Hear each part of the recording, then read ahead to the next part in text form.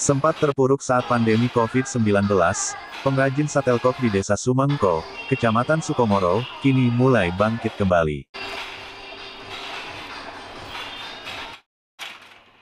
Ngadimun, yang sudah lebih dari 20 tahun menekuni usaha pembuatan satelkok mengaku, karena pandemi, produksinya menurun hingga 75%, namun sejak adanya Pekan Olahraga Nasional, PON di Papua, saat ini, produksinya mulai meningkat tajam.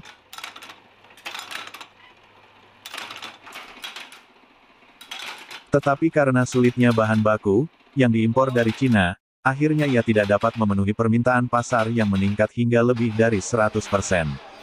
Namun, ia hanya memproduksi, sesuai bahan baku yang ia miliki.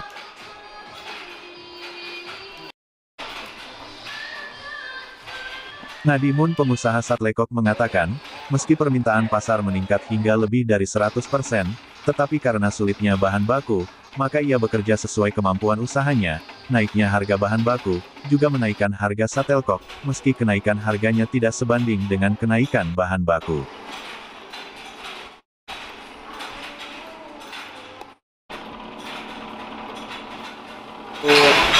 penjualan pop ini di masa pandemi dan mulai PPKM mulai longgar ini apakah ada pengaruh? Kalau masa pandemi sangat berpengaruh, jadi kan orang nggak bisa keluar, jadi kemungkinan satu pop itu sangat menurun drastis, jadi cuma 25 persen dari produksi.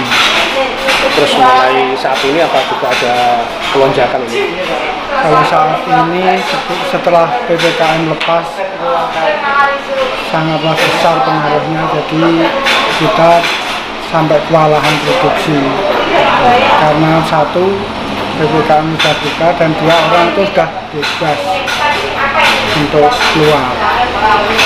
Pak penyebab lain dari kenaikan itu apakah momen-momen saat ini mungkin dari adanya event-event nasional PON yang ada di Jayapura itu termasuk berpengaruh juga. Sampai berapa banyak pengaruhnya? Kalau saat ini karena kekurangan bahan baku yang sangat tinggi, jadi yang permintaan bisa naik 100%. Tapi kita nggak bisa memenuhi, terpaksa kita nolak. Jadi permintaan kenaikan sampai 100% lebih? Iya. Pak kalau jumlah produksi Bapak Pak bisa mencukupi itu? Sementara nggak bisa kan karena itu bahan bakunya yang sangat susah itu. Hmm. Jadi kita nggak nggak bisa memenuhi permintaan kayak gitu. Jadi saat ini hanya mampu bisa mensuplai berapa nih? Sekarang produksi kita kalau kalau di waktu bahan baku normal itu kan kita bisa produksi loss kayak gini cuma 40 persen dari hasil yang biasa kita kerjakan. Terus upaya Bapak Pak untuk bisa mencukupi produksi Pak, bahan produksi bagaimana? Untuk sementara kita nggak nggak bisa apa-apa, memang bahan baku yang nggak ada. Penyebabnya nggak ada Pak? Penyebabnya kan karena pandemi ini kan produksi dari importer dari Cina kan nggak bisa masuknya nggak bisa lancar. Ya. Hmm apakah ada kenaikan juga Pak di harga bahan mentahnya? Kalau kenaikan harga sangat tinggi, yang dulunya kenaikan kisaran 40 persen lah bahan bakunya. Jadi kan terus kita ngikuti harga jualnya ya ngikuti naik juga. Kalau harga jual kok apa juga dinaikkan? Iya, otomatis kalau memang bahan bakunya naik, kita kalau nggak mau rugi, terpaksa kita mengikuti harganya naik berapa dari berapa? Kan kalau kemarin di mana itu kita jualnya 60 sekarang 67 ribu. Iya. Per apa itu? Per dosen, per slot. Itu juga masih bisa laku pak ya segitu? Kalau gitu segitu masih laku pun kita yang mengurangi keuntungan. Jadi kita biar biar sama orang-orang itu bisa beli tanah kita mengurangi keuntungan. Meski demikian, ia tetap teliti dalam pembuatan satkok. Untuk menjaga kualitas, satelkok sebelum dipasarkan dilakukan uji coba, supaya hasil produksinya sesuai standar PBSI.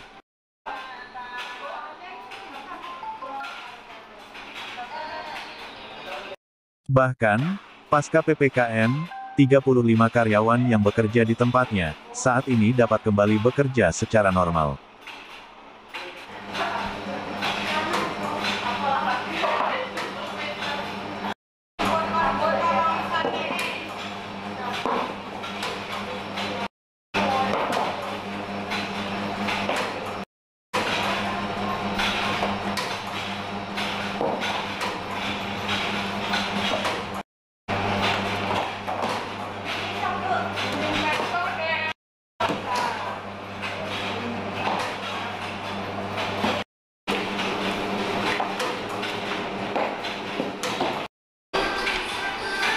Dari Sukomoro, Siti Nur Khalifah, melaporkan.